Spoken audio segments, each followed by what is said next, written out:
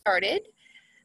Tonight we are going to be talking about beneficial insects in the Florida vegetable garden. Uh, this is a really important um, concept in organic and sustainable gardening, um, and it's one that is um, can be maybe a little bit um, confusing or frustrating just because um, in the beginning it could can be difficult to realize what um, is good and what is bad. Um, so we're going to be going through that um, tonight so that hopefully you have a really good understanding of the main pests. Um, but since there are so many new faces um, today, I wanted to introduce myself. My name is Elise Pickett and I am the owner of the Urban Harvest. I teach Floridians um, how to vegetable garden here in Florida and just a little bit about me since we're talking about um, insects. I figured I'd share, I try to share a little something different every time, um, just for those who are taking classes that already know me. Um, I got my degree in wildlife ecology and conservation with a minor in zoology. And part of that was taking entomology, which is the study of insects, one of my classes. And we had to do this um, I was not that into bugs really, um, but we had to do this board where we pinned all of the dead bugs and identified them properly and everything. I can't remember how many it was, like maybe 50 or 100 different insects that we collected ourselves. And I was doing this project for school, and I ended up catching a praying mantis. And he was so cool and chill and I loved him and I didn't want to have to kill him. So I asked my teacher if I could just take a picture and do that instead because I didn't want to I didn't want to put pin him to a board and she was cool with it. So um, I ended up with a praying mantis and a little um, a little bug, you know, for like little kids or whatever. I kept him for a few weeks and then let him go, but um, it just showed me how cool bugs are. He that little thing was awesome, and I'd catch little bugs and put them in there, and to watch him catch it and everything was really really fun. Um, so anyhow, just a little tidbit about uh, some of my schooling and background, all sorts of kooky things that most people don't get to uh, learn about in school, but uh, that's what you get when you're a wildlife biologist. So. All right, um, I always like to start my talks um, with a quote and tonight it's going to be Adopt the Pace of Nature. Her secret is patience. And that's by Ralph Waldo Emerson. And I think it is especially fitting when we're talking about good bugs. We were already referencing that earlier. A few people had questions, and she said um, one of the um, women had asked about a bug and how long she should wait until it's in her garden um, to take care of the, the bad bugs uh, naturally. And um, patience is a virtue uh, that uh, everybody, I think, um, is constantly working on. So the more patient we can be, uh, the um, more results that you'll see. So, um, why bother learning the good bugs? Why not just spray the garden or the flowers or the yard and just be done with it. Why bother um, using organic techniques? Why bother looking for the good bugs and trying to help support them? Um, and there's a lot of reasons. Uh, the most obvious is that we are hopefully um, greatly reducing, if not eliminating, the use of pesticides. And regardless of whether they're organic or not, pesticides are pesticides. Um, it kills things, and um, it can it can have buildup in your soil. It can affect the environment through runoff. It certainly clearly affects the wildlife and the the living organisms in your environment. It can potentially alter your soil ecosystem. There's a lot of bacteria and good things in your soil. Um, and when we're using pesticides, that can alter the soil, which can affect nutrient uptake, water absorption from your plants. Um, the list goes on, uh, not to mention that they could potentially even impact our own health. Um, so the less that we need to use those, the better. Um, so the other thing that's really important to understand is when we do choose to use a pesticide, 99.9% of the time, it is not going to kill all of the insects. And just like we have superbugs in the hospital, um, we can get superbugs in the garden. And that's what we've been seeing um, through the widespread use of Roundup and a lot of these other really strong pesticides. The ones that do survive, the bugs that do survive, are naturally capable of handling these pesticides. So the next time it takes an even more toxic pesticide, and it just goes on from there. Um, we never get them all, and then we have an even bigger problem on our hands. Um, so it is really important to to use pesticides very judiciously and um, minimally. And when we set our system up for success, we're going to be talking a little bit about offense versus defense as well as the natural bugs um, and integrative pest management. Um, I'll explain all of that in just a little bit. But when we set ourselves up for success, um, it's going to take less work on your part. You're not going to have to go out there and spray after every rain. You're not going to have to um, constantly be perusing the garden looking for the bad bugs. Um, when we set things up properly, nature takes care of it for us. So um, one of those terms that I threw out um, is a little bit sciencey. Integrative Pest Management, um, also known as IPM. And it's a pretty key um, organic agriculture um, and sustainable agriculture approach.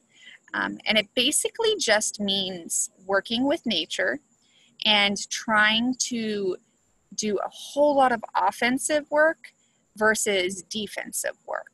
Um, so it takes, um, we're going to go into exactly what it inquires, but definitely the planning and planting. So it doesn't start once um, you're starting to get fruit or once you see the bugs. It starts when you're planning your seasons and everything like that.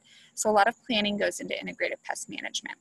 And then um, once your plants are in the ground, you're going to be doing monitoring, regular monitoring, so that things don't get too out of hand. Um, we try to let nature do its job, but um, we want to be there making sure things are kind of kept in balance so that if we need to tweak a little bit here and there, it's easier to tweak rather than have to, you know, throw a bomb in the garden um, when things are under control versus out of control. Um, and then the last step is the most important and it's decision making so it can be really frustrating when you walk out to your garden and you see your beans covered in aphids. Like i feel you. I've been doing this for years and every time i go out it still is like oh my goodness um, what do i do? You know um, but instead of just reacting um, it's taking the time to make a decision um, look at the environmental factors, take a look around the garden, see if you notice any beneficial insects nearby, um, considering the least um, toxic method to achieve your results. Um, so integrative pest management is definitely a key principle um, when you're looking at organic and sustainable vegetable gardening. So um, as far as the offense versus the defense, there are a lot of things that we can do to set our garden up for success. And I've taught a bunch of other classes. I have um, YouTube videos. I do weekly um, YouTube videos all on Florida-based vegetable gardening. Um, and they're tutorials covering, you know, anything from how to plant a tomato from seed to um, this bug just ate my squash um, and everything in between. Um, so there's a lot of different concepts that you can implement in the garden that will help set you up for success. Um, one of those is planting flowers. Um, they're not just for beauty, um, they're also really good for most of the insects that we're going to be talking about. A lot of them are carnivores, um, but really they're omnivores, or at different life stages, they eat different things. Um, so, in general, flowers um, are really important to have around um, so that they can get nectar and pollen. Um, having vegetation nearby, um, so a lot of times we try to create a fairly sterile environment in the garden and that's the opposite of what nature is. Um, if you think about, you know, the forest floor or the meadow, um, it is anything but sterile. So creating different textures and levels within the landscape, maybe nearby you have shrubs at a couple of different heights, maybe some ground cover. Ground cover is really important for a lot of these different insects, beneficial insects. So keeping that in mind and building that in and around the garden. Um, a lot of people also choose, and this is kind of in that, that same vein, but um, they'll have sacrifice plants, plants that are really attractive to aphids planted near the garden, so that instead of going to the prized plants, they go to the sacrifice plant. Um, you can also offer habitat and shelter for the good guys. Um, this could be a sandy patch in the soil, a brush pile, or even um, different homes. So a bat box, technically bats are voracious insectivores. Um, they eat bugs all the time. So maybe a bat house, or if you've ever seen the solitary bee homes where they have the bunch of tubes and like almost looks like a little bird box. Um, so offering them shelter in homes is a really helpful way to make sure that they're already in the environment um, before the predator or the before the pests show up.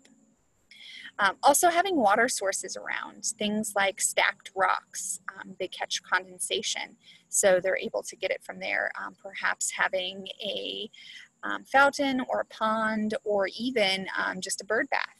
Um, depending on the insect, you may have to have, the bird baths don't always work well because they're usually steeper sided, but depending on the, the bird bath, it could potentially function as that in the garden.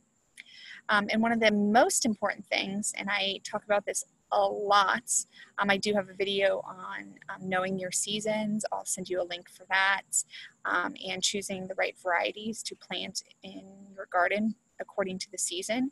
But when plants are stressed, they are much, much more likely to uh, not be able to fight off pests.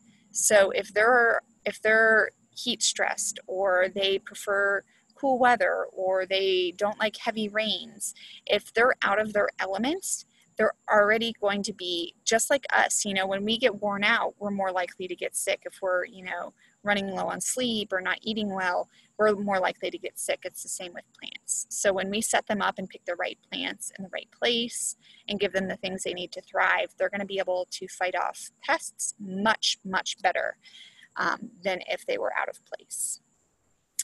All right, so um, I did see a question. I'll pause here and hop on over. If anybody else does have any um, questions, go ahead and type those in now. Um, so Miriam asked, can you give examples of good plants to use as sacrifice plants? Um, yeah, so it depends. Um, aphids are a really common one um, in the garden here as a pest. there's a lot of other potential issues, but um, those are really common ones. So sunflowers are really, really attractive to aphids. Um, so you could potentially do sunflowers in and around the garden. Um, different flowers definitely draw them in. Um, another way you can look at it is having literally the plant they like, but just in a big patch that's separate from the main part of the garden that you would like. Um, so a lot of people, um, the black swallowtail butterfly loves, clearly it's a beautiful butterfly and a great pollinator and um, a species that we'd all love to support, but they like um, anything in the carrot family. So they love dill and parsley and carrots and all of that. And they can completely wipe you out if enough of them get, enough of the eggs get laid on them. So what a lot of people will do is um, seed a large patch of dill, which is also great for drawing in pollinators um, and beneficial insects. And they'll have that huge patch, and then that way, whenever they find the caterpillars on their main garden, they'll just they'll just move them over to the sacrifice patch. Um, so it can be taken in multiple ways as far as what a sacrifice plant actually is. Um, all right, Hillary asked, the city county is spraying on my street for mosquitoes this week. How harmful is that stuff to beneficial insects and pollinators? Uh, it's not great. Uh, it's, you know, there's a lot of things I think that get kind of just slipped under the radar. And it takes time and effort to get things changed. And um, a lot of that they'll do um, like bt which is a bacteria that only affects um, certain insects, but all of that has a chain reaction, um, in my opinion. And regardless of how it affects the beneficial insects, it's going to affect things that eat the mosquitoes. Um, so the bats.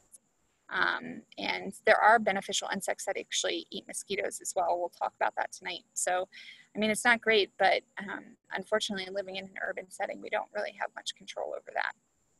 So, um, all right. So, um, Alina asked on a similar note, are there any targeted ways to control mosquitoes without impacting other insects? Um, yeah, so if I prefer to use repellents on myself um, rather than trying to eliminate them from the yard, which is pretty much never going to happen. It would be in Florida the longest, hardest battle of your life. uh, we have too much moisture. There's too many. They can they can lay eggs in literally like millimeters of water. So even if you're turning over your pots, they're going to find somewhere.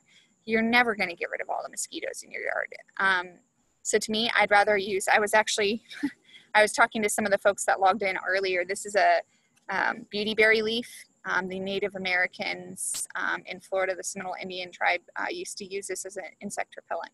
You take a leaf, you rub it on your skin.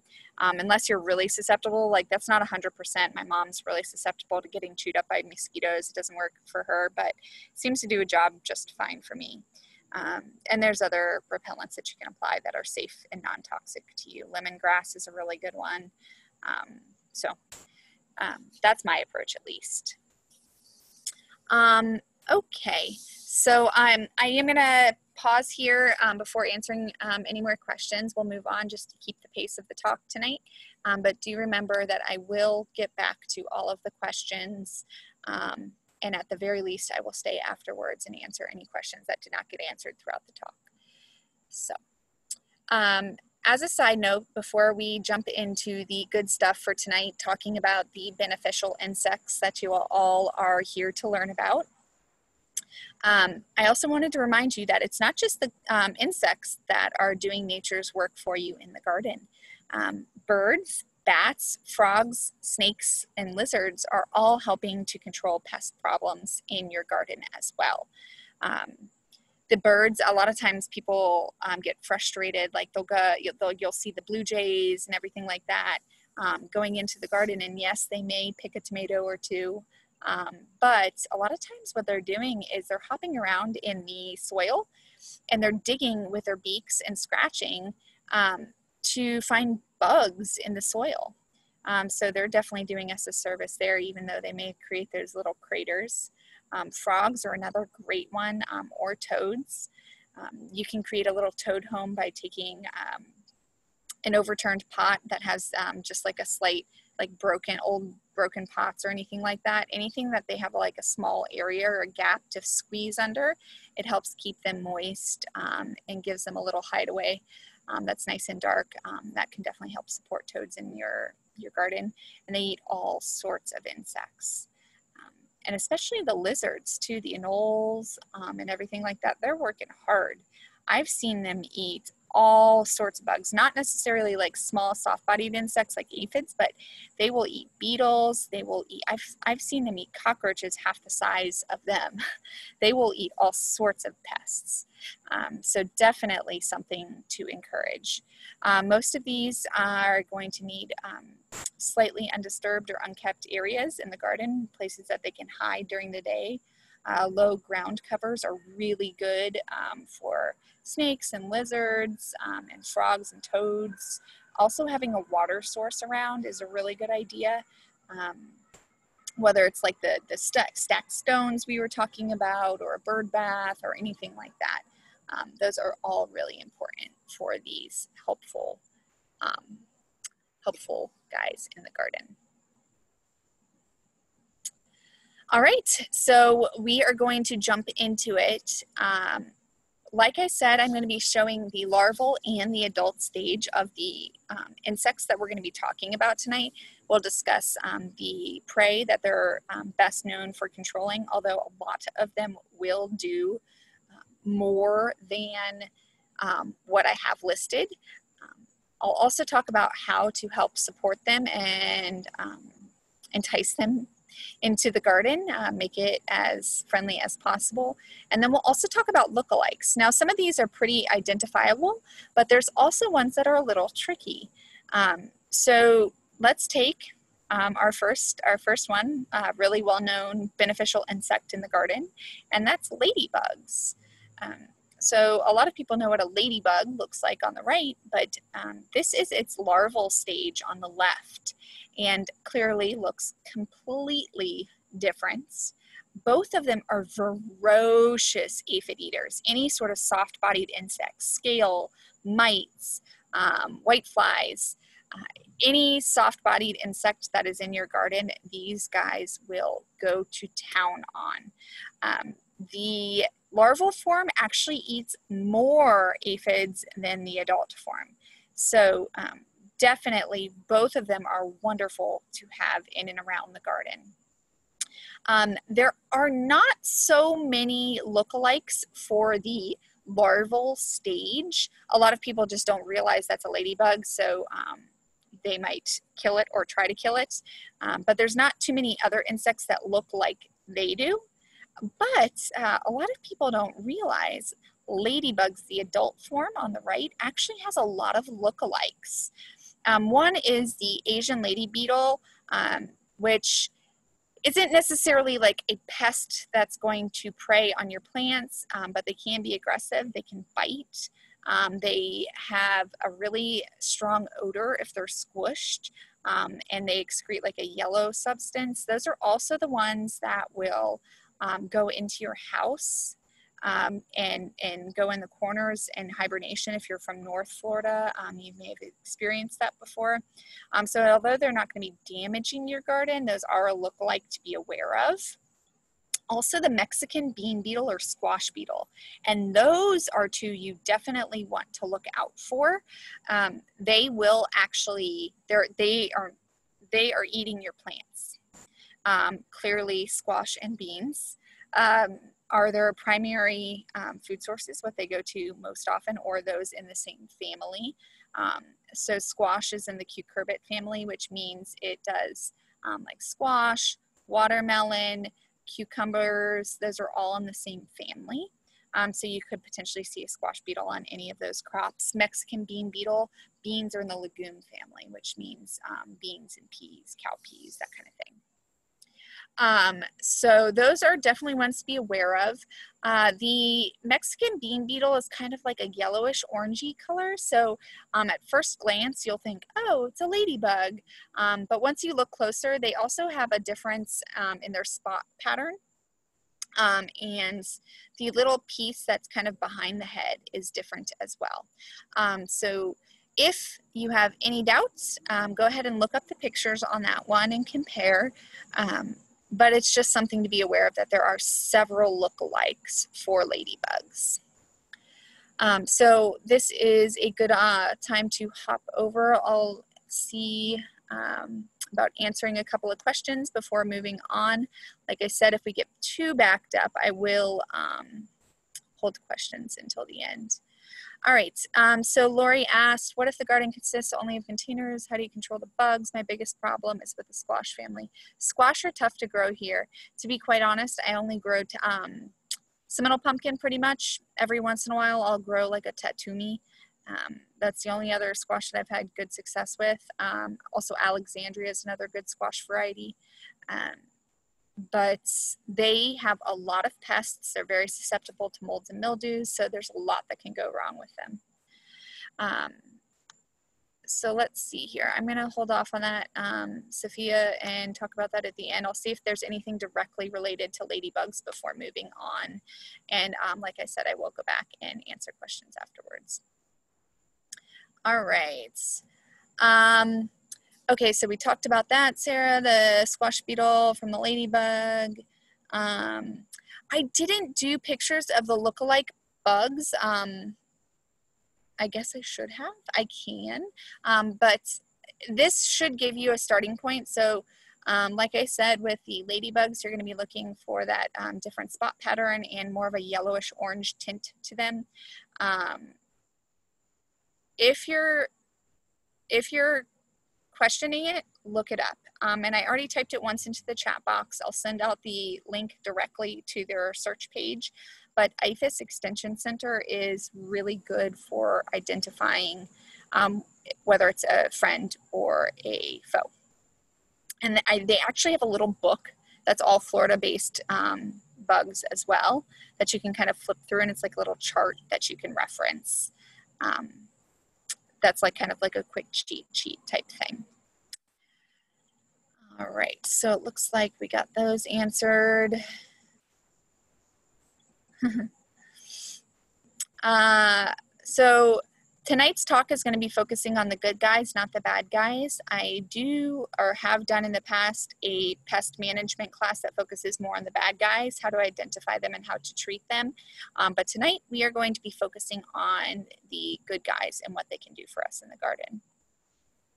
Um, that is a great question, Barb, and that will segue right into uh, our next slide, our next beneficial insect.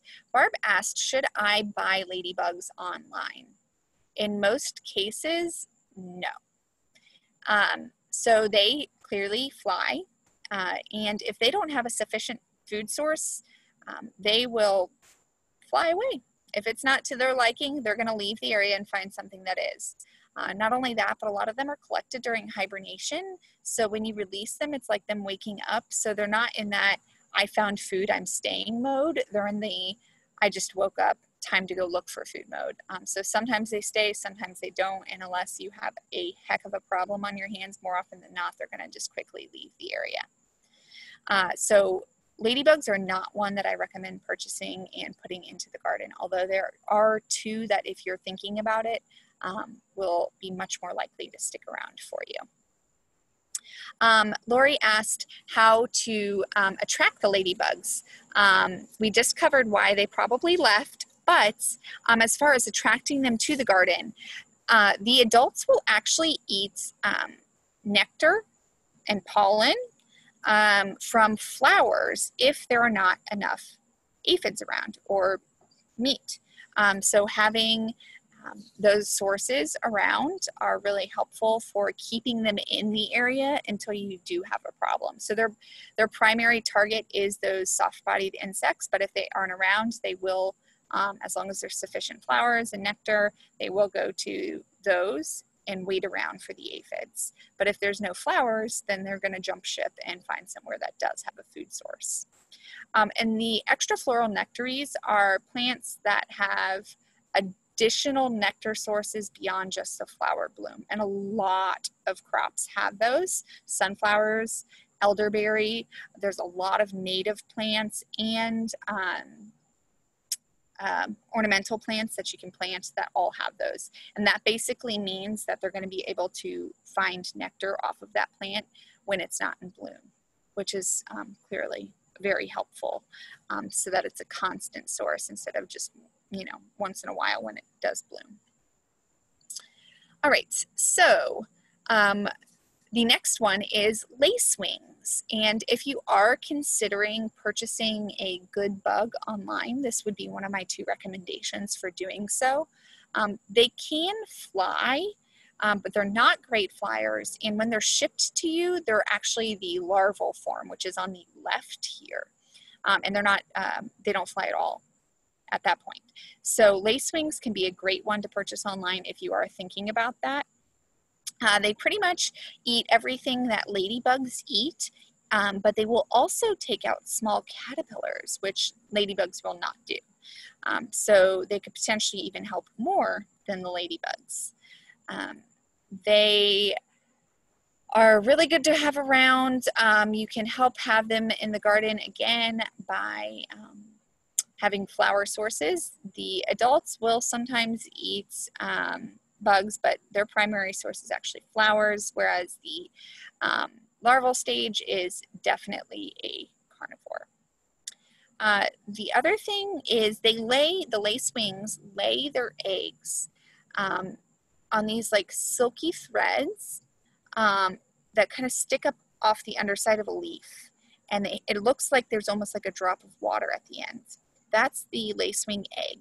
You'll typically see them in a cluster or a line on the underside of the leaves. So leaving those undisturbed um, is clearly you know ideal you're you're allowing the eggs to live and thrive um, so that is definitely one um, to consider when instead of like you know constantly brushing through the garden and um, disturbing the plants um, you know only go in and be selective and, and get the crop you need instead of disturbing the entire plant because um, they may have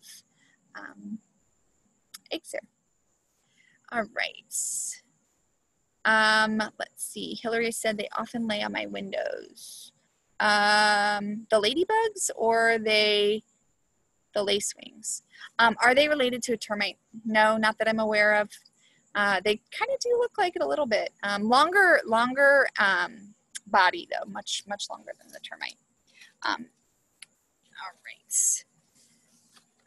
Oh, the lacewing eggs on your windows. That's fun. I don't think I've ever seen that. You must have a happy habitat for them there. That's great. All right. Um, so as far as lookalikes, there aren't too many other um, pests in the garden that do look like them. Um, I will say that they have a brown and a green variety here in Florida. So it could potentially look just like this, but have more of a brown and white modeling pattern to them rather than the green. Um, but like I said, this is going to be giving you guys the general look and the concepts. And then um, when you see it, you'll just do a quick search on the phone or come reference the slides um, and you can go for there, go from there and confirm that it really is the bug you're looking at. All right, so here's my little buddy that I just couldn't kill um, for that project, the praying mantis. And this is one of the most easily identifiable beneficial insects in the garden. Uh, there are a ton of different varieties. Um, they actually are another really good, that's one of the other common um, beneficial insects that you can purchase and have mailed to you. I've actually done it once. Um, I didn't buy the eggs myself, but um, a friend had a young son and he had gotten them for his son to experience in their garden. And they sent him something like, I don't know, a thousand eggs or something like that. And clearly he didn't need that for a small garden. So he gave me the extra eggs and I hatched them out and it was just, it was really fun um, to see them go about the garden. They will actually eat themselves. So, you know, you might start with 500 and you'll end up with, depending on how large your space is and how much food there is for them, you know, maybe 10, 15, 20, maybe 50, depending on how large your space is. But really, really cool um, insects to watch in the garden. So the other ones we were talking about um, were more focused in on the smaller stuff, the soft bodied stuff. These guys, will take care of your larger pests in the garden. Um, so they will eat some of the soft-bodied insects, but they're much more focused on the larger prey. Um, that's what those those um, ninja arms are for. They catch their prey. Um, they're kind of barbed underneath their, their forearms there, and it helps them to catch and hold on to their prey. Um, they actually eat their prey alive. They're not venomous or poisonous or anything like that, so there's no you know, spider bite where it kills the prey and they eat it later. Um, they actually eat it alive. So those barbs help hold the insect while they start eating. Um, they will eat grasshoppers, all sorts of different beetles, crickets, um, and like I said, even each other. Uh, so they will pretty much eat anything that moves um, or that they have a shot at. With that being said, they're really cool and chill with people. Um, unless you're like being aggressive to it um, or, you know, hurting it in some way or something like that. They'll crawl right on your hands. Um, they're very docile um, and no issues to have if you're if you know you have a garden with children or anything like that. Um, there's no issue whatsoever with these guys. Um, one of the beneficial insects that we will talk about um, does have a bite and a sting and it hurts. Um, but these guys, praying mantis, are good to go. Um, all right, so let's hop on over. Uh, so yes, Susan, there are ones for white flies. Um, we'll talk about that um, and I'll specify the ones that are good for that. Um, okay, let's see here.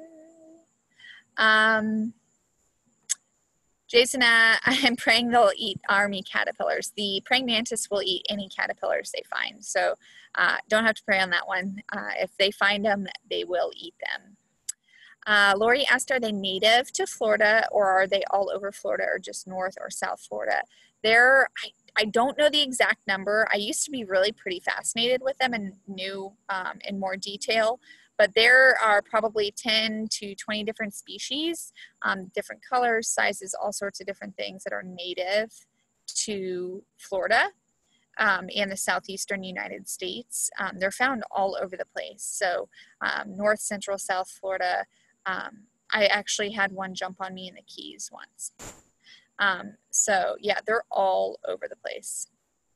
Um, uh, so Franklin asked, um, larval insects are carnivores and omnivorous because they need so much protein to develop the carapace for adults. Um, in general, they're, yeah, they're just like kids. Um, so they're going through a lot of development during that time and a lot of growth. Um, so yes, a lot of the larval forms are carnivorous for that extra boost. Okay, multiple questions here. Um,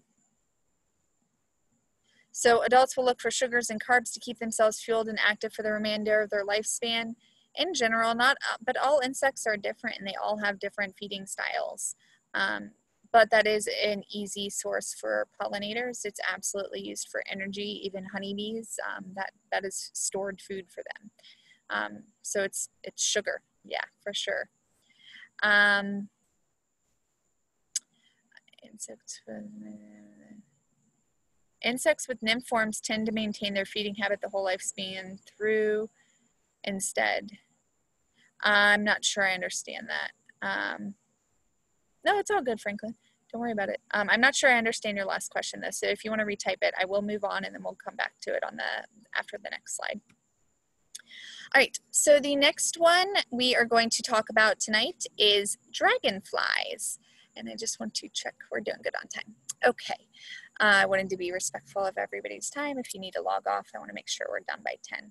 So dragonflies, uh, we may or may not think of as beneficial insects in the garden. Um, but if you have any sort of water source around, um, they are wonderful to have around the garden. One, they eat mosquitoes, which we were already talking about earlier. Um, they eat a tremendous amount of mosquitoes. If you have your dragonflies during the day and bats at night, you will be good to go.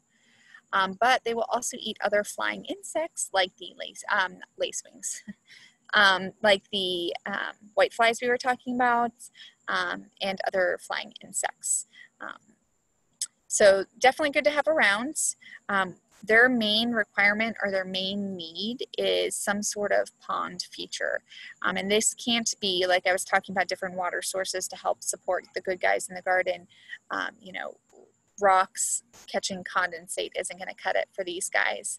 Um, they will need a um, a pond or um, some sort of, if you live near, you know, um, one of the drainage ditches or anything like that, they will need a significant water source um, to be in the area. Um, all right, as far as lookalikes, um, they don't have very many lookalikes. Um, everybody knows the adult form, the larval form or the nymph form um, clearly looks a lot different than the adults, um, but not too much to worry about. The larval form, um, just so you know, they eat a ton of mosquitoes and mosquito larvae. They are only in the water as their larval form. They don't um, leave the water until they develop into the dragonfly. Um, all right. So, oh wait, hold on. I didn't mean to click that. All right. Sorry. All right, so we have a few questions pop up before we move on.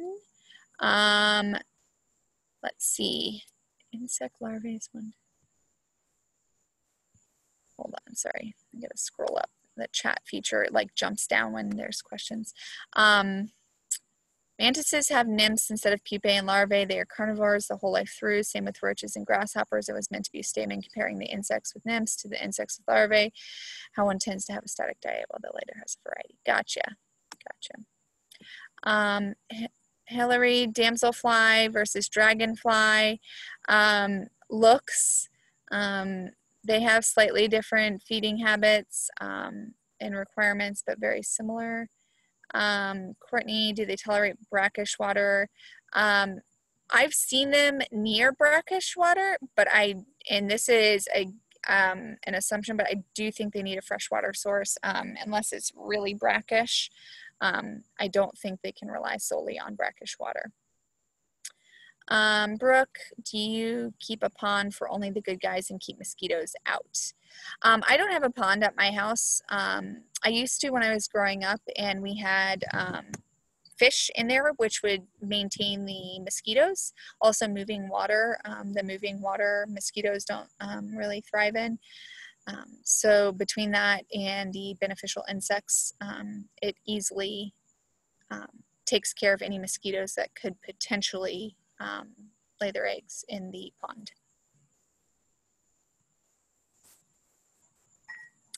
All right.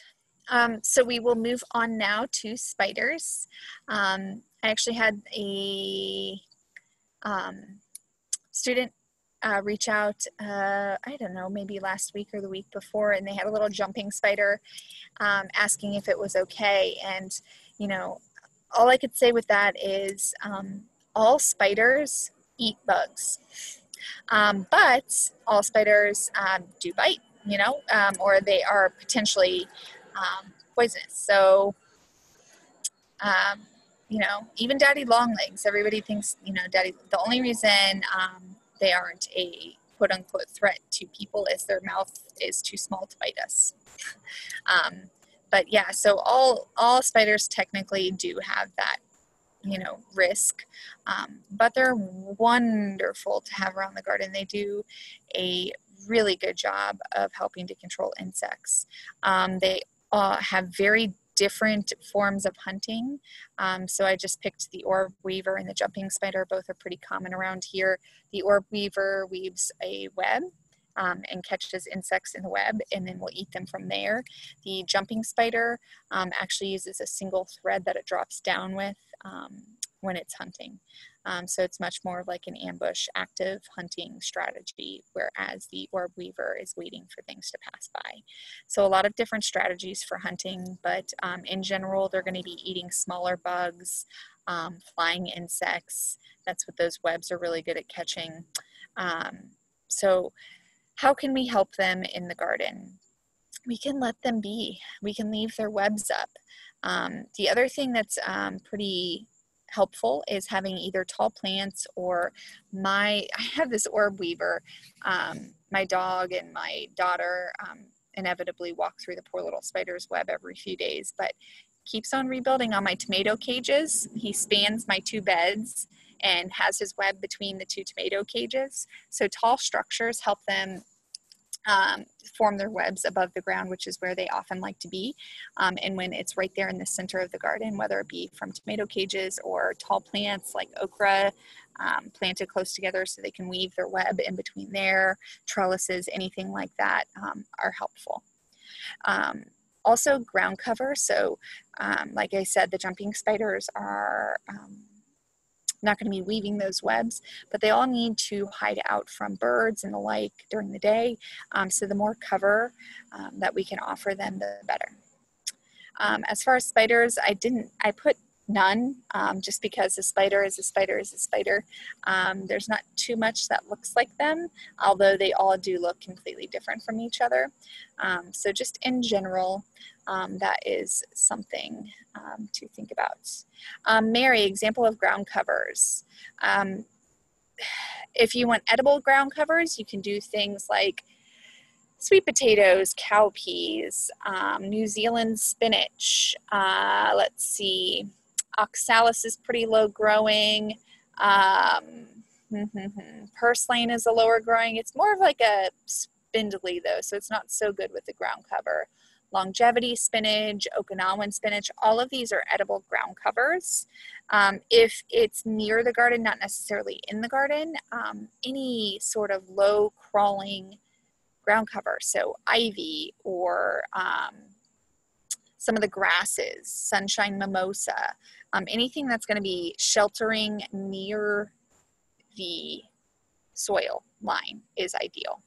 Um, so those are all examples of um, ground cover.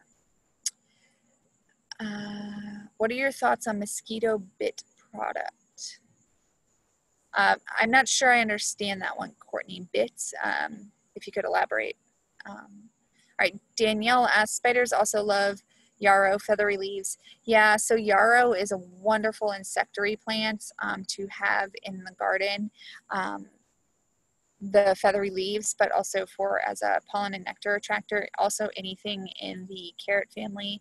So, a lot of the um, fragrance um, herbaceous plants that we often plant in the garden. Um, anything with the umbel like um, heads where it's flowers with very small um,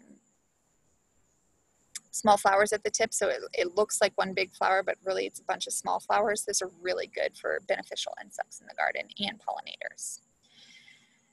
Um, beth spiny orb weavers are my favorite spiders. I know they're really cool. I um I, I like them a lot too.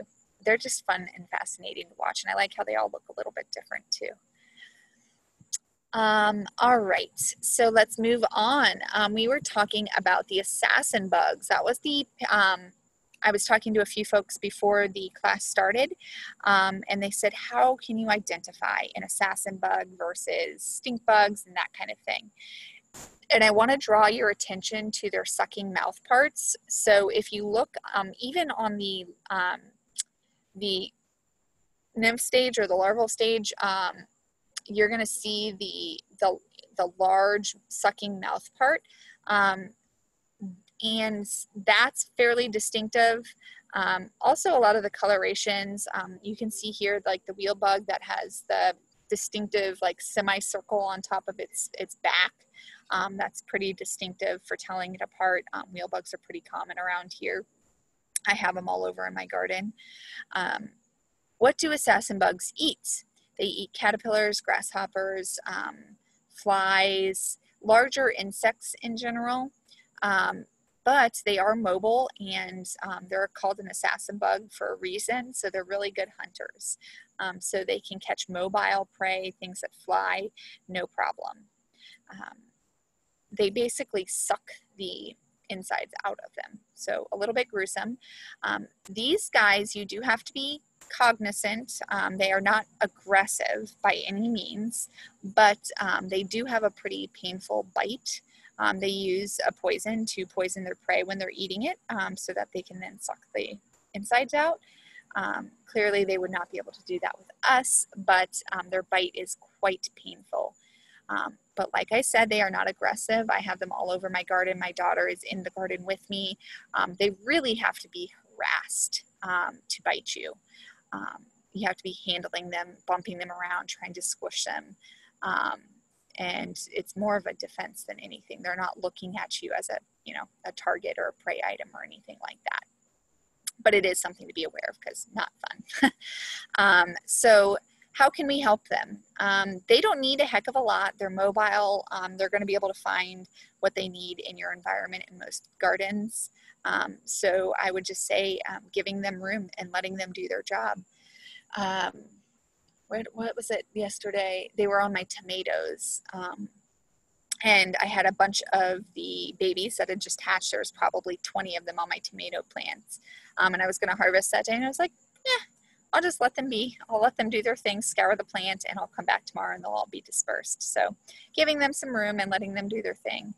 Um, uh, lookalikes, um, it's more in um, North Florida, not so prevalent at all. Um, in South Florida, not even really in Central Florida, but they have had um, records of the kissing bug, um, which does potentially look like um, the assassin bugs. They're, they also bite quite painful and they can carry diseases and they are more aggressive than the assassin bug to people. Uh, so definitely not one to have around.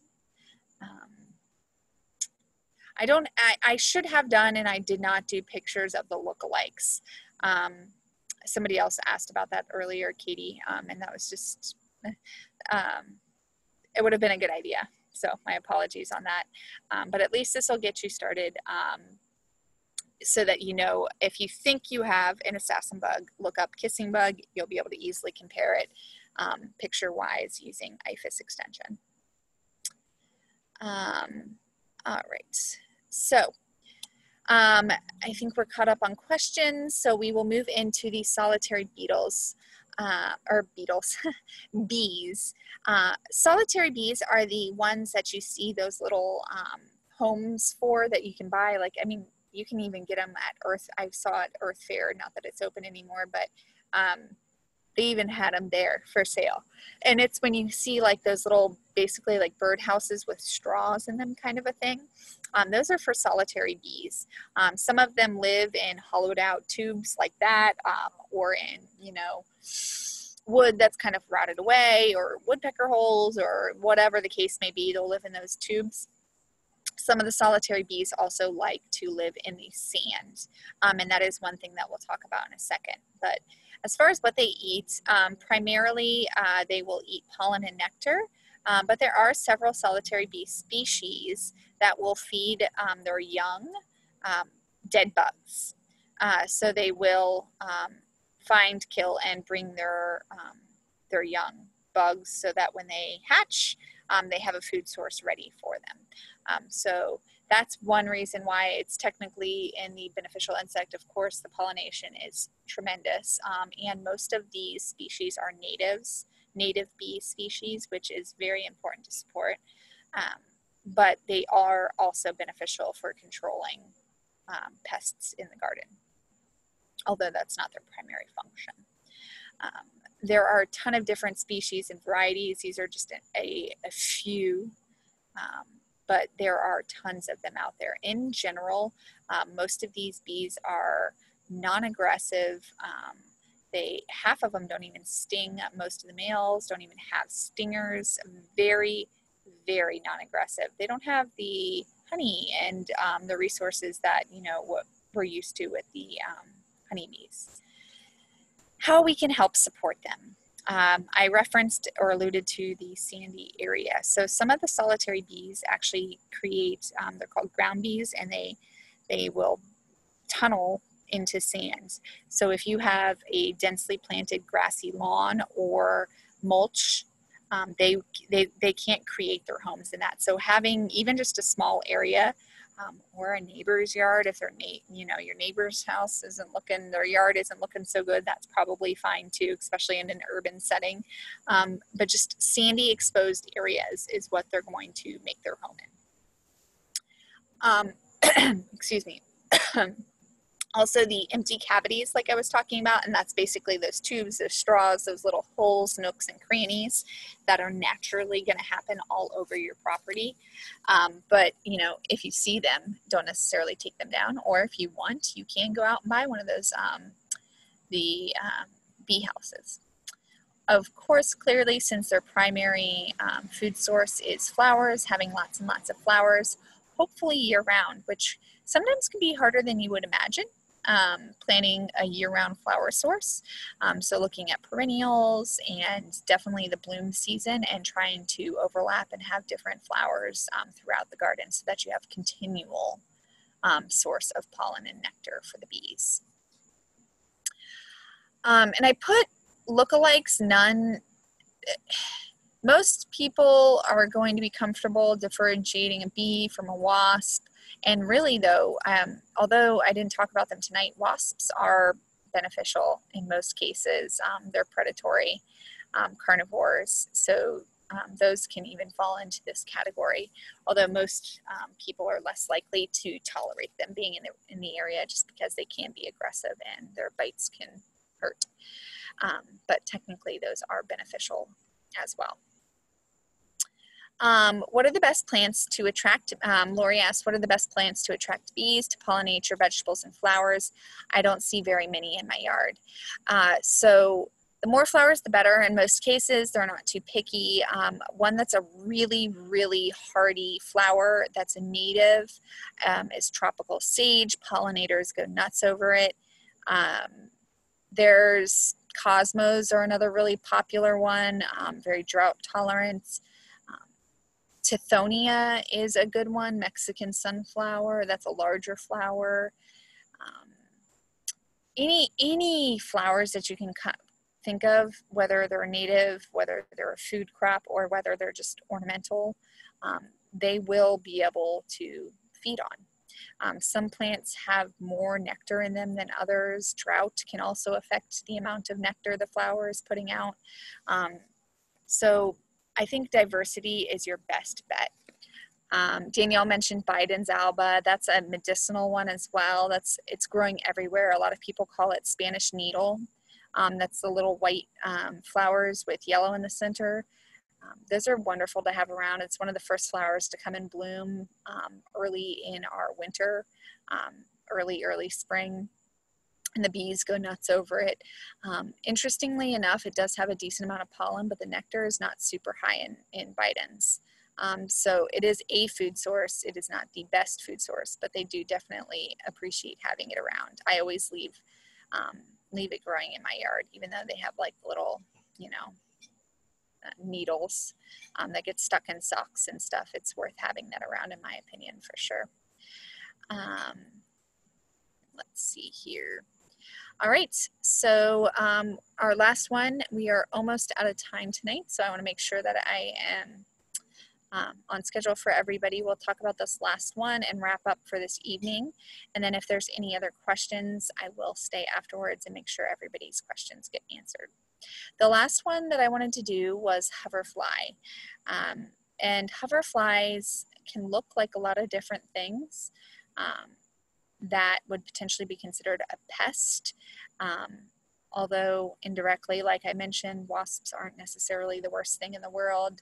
Um, nor flies in most cases, but um, anyhow, hoverflies, what they eat. Um, primarily, again, they're going to be going for the pollen and nectar, but they do also eat aphids. Um, so they are, um, the young are the ones that are carnivorous. Um, you can see in that middle picture there, um, they almost look like a slug, but they're not, um, kind of clear bodied. Um, but they definitely have um, the capability of taking down some aphids, which is always, always a good thing. Um, so this is kind of like a twofold. It's a pollinator for your garden as well as a beneficial predatory insect. How can we encourage them to be in our environments? We can have, once again, flowers, lots and lots of flowers. Um, we kind of highlighted some of the lookalikes there. Um, I will say hoverflies have more diversity than a lot of the other insects we were talking about tonight.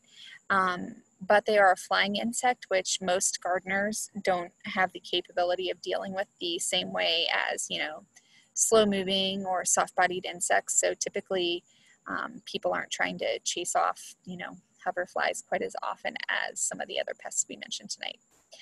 Um, Safia asked, are they also called yellow jackets? No. So that's one of the lookalikes. Um, it's made, um, not made. It has, you know, looked over time, it has developed the same look as a yellow jacket or a wasp. Um, but that is a deterrent. Um, they have no stinger and uh, they are not the same thing. Um, so we were talking about whitefly predators. The lacewing is good with um, whiteflies. So that's a good one to have around for that. Um, I had highlighted that then. All right, um, so if all else fails, I like to encourage people to use a deterrent rather than a pesticide just because even organic pesticides can linger in the environment, or even if you're spraying, um, you may not see the larval form hiding under a leaf or the passing, you know, adult form that is trying to do good work for you. Um, so I really encourage everyone to try to use deterrents rather than pesticides. Um, this is a homemade um, pest deterrent. Uh, I was talking to somebody prior to the start of this class about um, using a pest deterrent. This is the recipe I use. You can make it at home. It can be used on flowers, vegetables, anything like that. Basically, it's making it um, super garlicky and spicy so that it's not appetizing for the caterpillars or whatever else is munching away on your crops. Um, pretty easy to make. Um, there's a few different methods for it. Some people will boil it first. Some people um, will just go straight to the blending stage. I've done both. I will say that if you do boil it, um, do it outside, it can get pretty pungent with all of those oils. Um, basically, you're making this spray, um, and the other thing to do um, or note is putting a few drops of dish soap. That's not um, soapy water can kill insects. That's not the purpose of this, and you're using it in such small quantities that if it were to come in contact, um, in most cases, it's not going to kill the bug. Um, this is a few drops um, because basically what soap does is it emulsifies oils. That's why when you add dish soap to your dishes, it the water is able to clean the grease. It's it's allowing the oil and water to mix and release. So um, just a couple of drops of dish soap is all you need for this recipe. Um, all right. So I'll hold the neem until the end just so anybody who does need to check out can do so. Um, like I mentioned before, I do weekly um, tutorials on Florida-based vegetable gardening on YouTube. Um, so go ahead and subscribe to the channel and I cover a wide variety of topics. Um, composting, um, summer vegetables to grow in your Florida garden, um, heirloom tomato varieties that grow well, all sorts of different topics. Um, so make sure to check that out. Um, if you're looking to get started in vegetable gardening, I also do a seed club as well. Um, where I mail three varieties of in-season seed to your door once a month um, so that you can get a, a, feel for the seasons like we were talking about, you know, right plant, right place type of thing. Um, it helps um, helps expose you to new varieties and kind of get you in the swing of the seasons. Um, and I also have a ton of resources online as far as reading lists for books that I found helpful, um, different recommended products. Um, somebody just asked about neem oil, things like neem oil are on there, um, all sorts of different things like that. So um, make sure to check out the website as well if you um, have any additional questions or information you're looking for. Uh, so that wraps up tonight. Like I said, this will be recorded or this was recorded. Um, so I'll be sending it out um, tomorrow so that everybody has access to it um, and you can download it or do whatever you need with it so that you have it for reference at a later point. Um, but for now, I will hop back over and finish answering any questions. Thank you all so much for coming out tonight. I hope this was beneficial and informative. If I teach it again, I will certainly take um, the input for the look-alike pictures.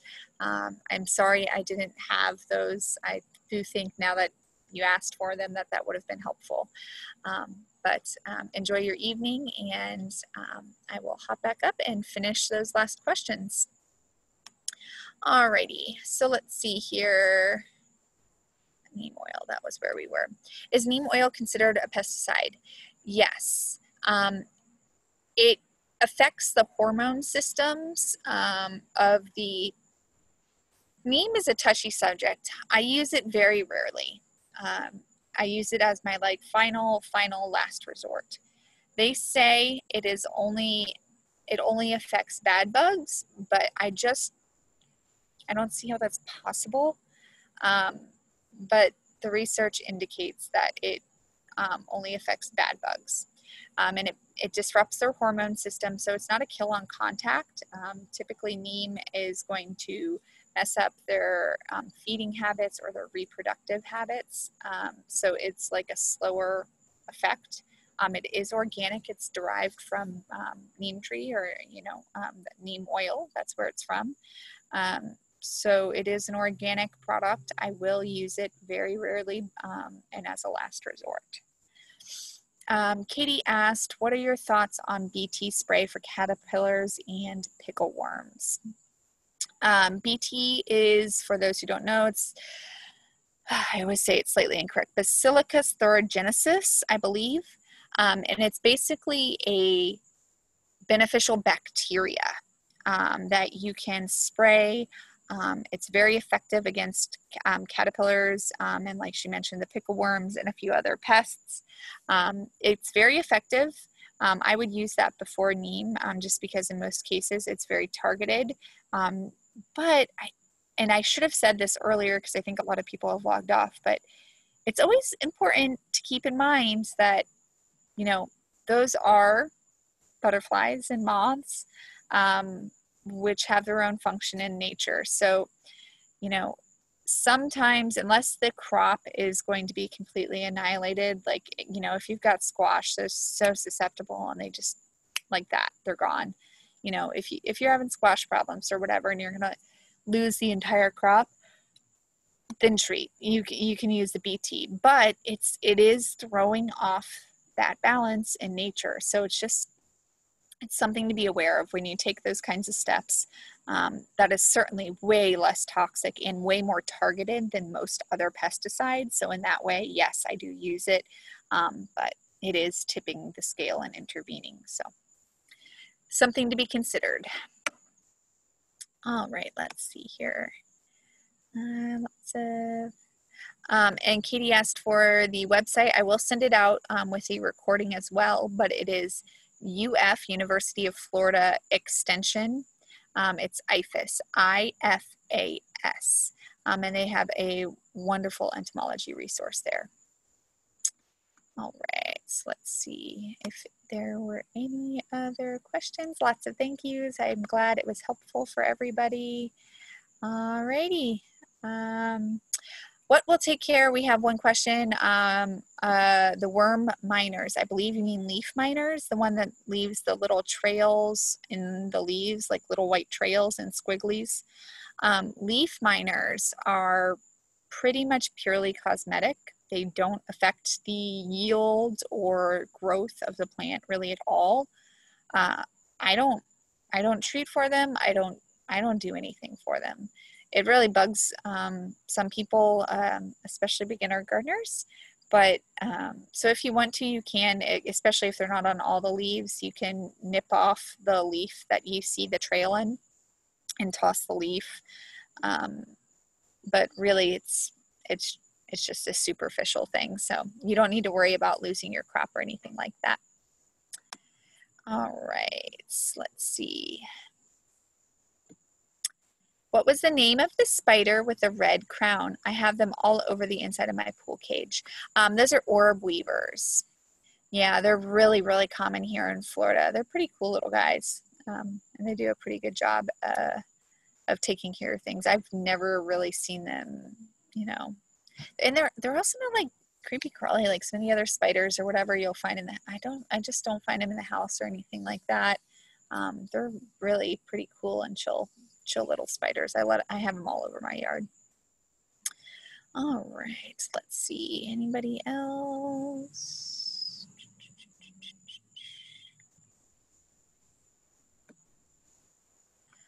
Sarah Elise, I'm Googling ladybugs versus squash beetles versus Mexican bean beetles. I found several yellowish orange ladybugs looking things on my cucumber plant. I thought they were ladybugs, but now I'm questioning it, having a hard time finding the best way to tell the three apart. Yeah, so um, it has to do with the number of spots and whether it's on both sides of the wing or one side of the wing. Um, and then that, that coloration is another distinct one. Um, if they're on your cucumber plants, it's quite likely um, that it's a squash beetle. Um, you can try taking a picture of it. You can um, send it to IFAS Extension and they'll actually um, identify the pest for you. Or if you ever have like a plant you don't know or anything like that, they'll identify it for you. Um, there should be some pretty clear cut resources um, that'll show you the way the, the spots line up on the wings um, that should help you figure out whether it's a squash beetle or um, a ladybug. So yeah, and, and going on IFAS's website might help because um, there's always there's blogs and all sorts of stuff, but they may not be very specific. I like IFAS because they're they it's easy to understand, but it's scientific based. So it's going to tell you this is what you look for type of thing rather than a yep, it could be this or that type of thing. So um, hopefully that helps Sarah. And good to hear from you. I haven't seen you in so long with all these classes being out. I hope all is well. Um, all right, Vanessa, how should we spray um, neem if it's used? Is there a limit? Yeah, you follow the package instructions. Um, uh, it's diluted greatly. So, like uh, when you purchase a bottle of neem oil, um, you're usually going to be doing like a capful per like gallon or two of water. So, very diluted, um, depending on the brand and everything like that. Um, with any sort of um, sprays, um, always spray in morning or late evening. You don't want to spray during the heat of the day. The oils in a lot of these um, sprays can affect the plants and burn the plants. Um, so yeah, um, you if you're using it though, be very thorough because like I said, you want to try to get rid of as many, if not all of the pests, which like I said, you're never going to get rid of all of them. But um, if you're doing it, do it so that you can actually handle the situation rather than, you know, it's like when you have antibiotics and you take, you know, the first three days and then you feel better, you got to finish taking it because otherwise uh, it's going to come right back and bite you in the butt. So if you're gonna, if you choose to use neem oil or any sort of other intervention, um, make sure to follow the directions and follow it through. Uh, what's a good safe pesticide that won't harm caterpillars? Uh, well, it depends on what you're doing. Um, none. Um, most pesticides are going to not be very specific. Um, caterpillars happen to be one that are very susceptible. They're soft-bodied. Um, most pesticide, pesticides will affect them. Um, if you're concerned about them, you can remove them from plants and do like that sacrifice plot that I was talking about in the beginning um, so that you can feed them and let them grow into the beautiful butterflies and moths that they were meant to be without losing your food crops. Um, or you can just let Mother Nature handle that balance for you. All right.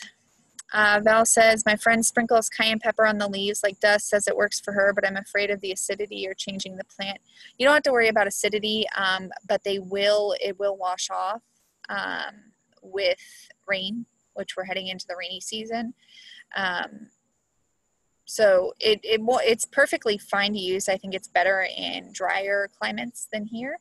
Um, the hot pepper spray tends to stick a little bit better um, just because of that oil and, and, and soap mixture. Um, I find that it, it, lasts a little bit longer, but if we do have any sort of heavy rain, you will have to reapply the, um, the spray as well. I'm glad it was helpful, Jennifer. It was good to see you tonight um, or realize that you were here. I guess I didn't see you, but all right. Um, Barb, I've stopped all pesticide spray in my large flower garden, but still have the lawn spray and I'm feeling guilty. It's, you know, a lot of us, especially living in um, urban settings, there, there's, I mean, if you're in a homeowners association, you literally just don't have much of a choice. But with that being said, there are um, companies out there that use more organic um, methods.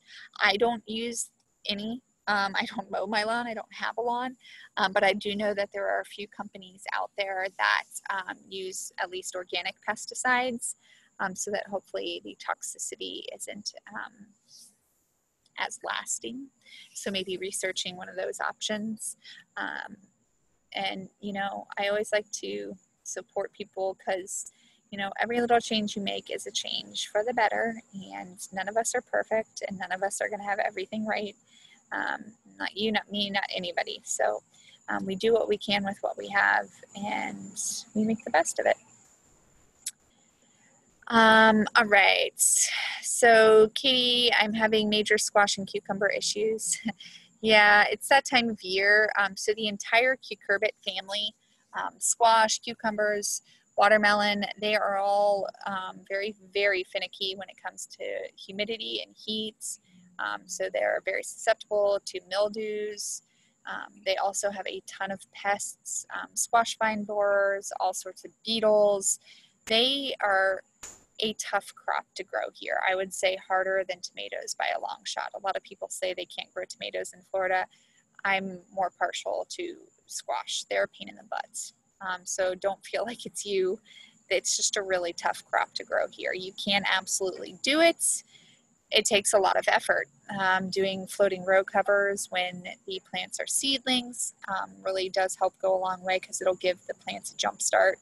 Um, picking varieties that thrive better in our climate. I mentioned a few squash varieties. Um, the Seminole pumpkin, Alexandria, Tatume all grow really well here. Um, as far as cucumber, I really like the Ashley variety. Um, it grows really well. It's very heat tolerant.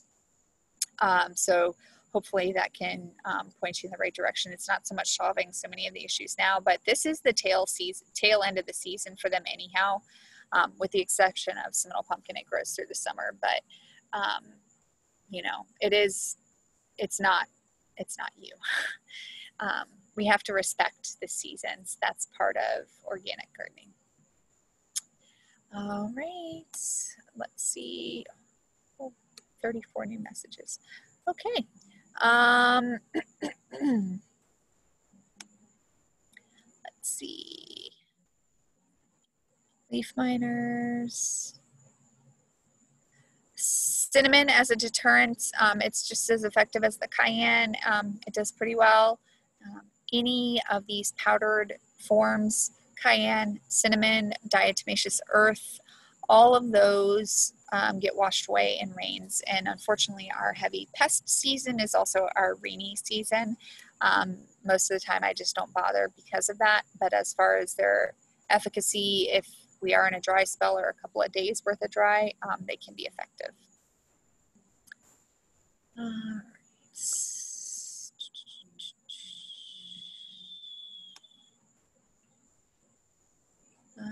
okay, good, Sarah. Okay. Um,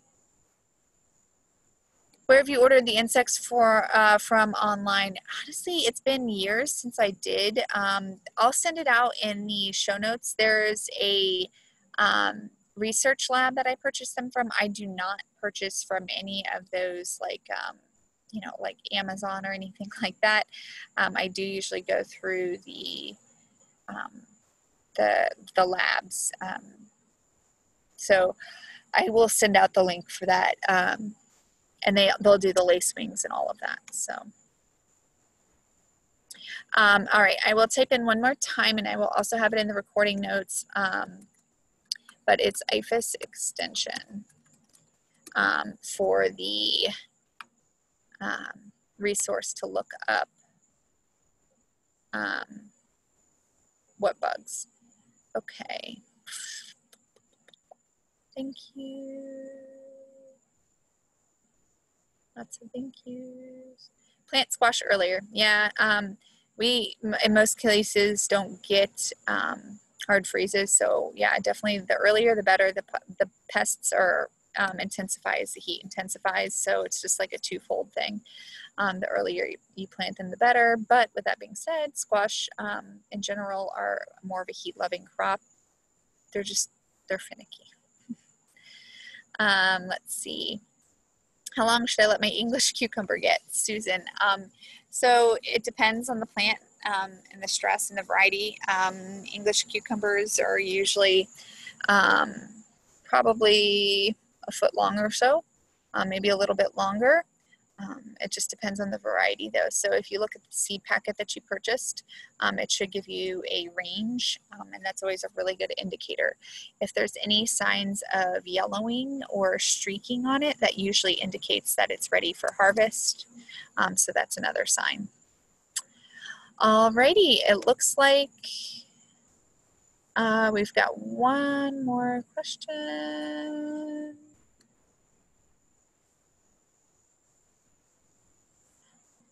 Franklin. I am not even sure what that is.